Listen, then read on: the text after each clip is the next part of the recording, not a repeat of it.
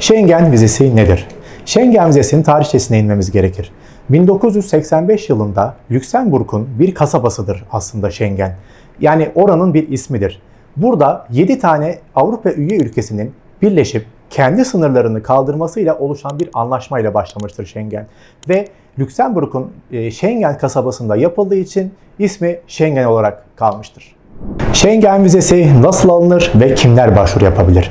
Seyahat etmek istediğiniz Schengen ülkesinin kurallarına uygun bir şekilde evraklarınızı hazırlayıp konsoloslukların işlem merkezlerinden randevu alıp başvurularınızı gerçekleştirebilirsiniz. 18 yaşından büyük ve Avrupa Birliği üyeliği olmayan bütün vatandaşlar Schengen vizesine başvuru yapabilmektedir. Schengen vize türleri nelerdir?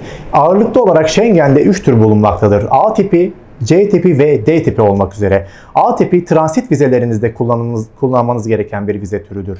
C tipi 90 gün altı turistik vize başvurularınızda kullanılan bir türüdür. D tipi 90 gün üzeri ulusal vize başvurularında kullanmanız gereken bir vize türüdür.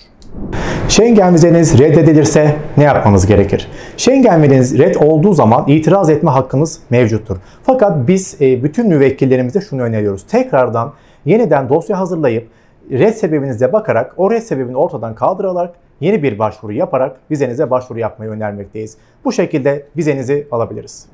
Vizeniz reddedildi, ücretiniz iade edilir mi? Maalesef konsolosluklar tarafından herhangi bir ücret geriye iade olmamaktadır.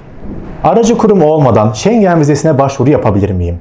Evet, kesinlikle bireysel bir şekilde de evrakları düzgünce hazırlayıp randevunuzu alıp başvuru yapabilirsiniz. Fakat ben bunu şuna benzetiyorum. Bir mahkemeniz var ve mahkemeye avukatsız çıkıyorsunuz.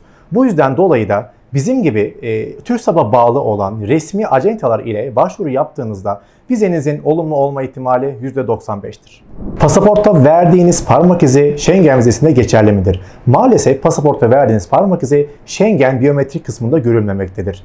İlk defa vize alıyorsanız kesinlikle konsolosluğun işlem merkezlerine gelip parmak izi vermek zorundasınız.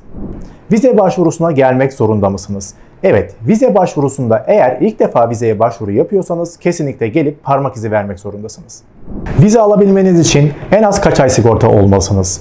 Bununla alakalı net bir kural olmayıp bizim önerdiğimiz en az 3 ay sigortalı olduktan sonra vizeye başvuru yapabilirsiniz. Çalışmıyorum, işsizim, Schengen vizesi alabilir miyim? Bize en çok gelen sorulardan biri olup bununla alakalı net bir kural bulunmamaktadır.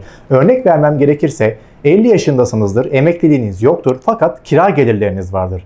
Bu şekilde vizeye başvuru yapıp vizenizi alabiliriz. Fakat 40 yaşındasınız, herhangi bir e, iş geçmişiniz yok, şu an çalışmıyorsunuz, herhangi bir kira geliriniz yok. Maalesef bu şekilde vize almak çok zordur. Ev hanımıyım, vize alabilir miyim? Bu soru da bize en çok gelen sorulardan biridir. Ev hanımısınız, e, evliliğiniz olduğu sürece eşinizin sponsorluğunu göstererek vize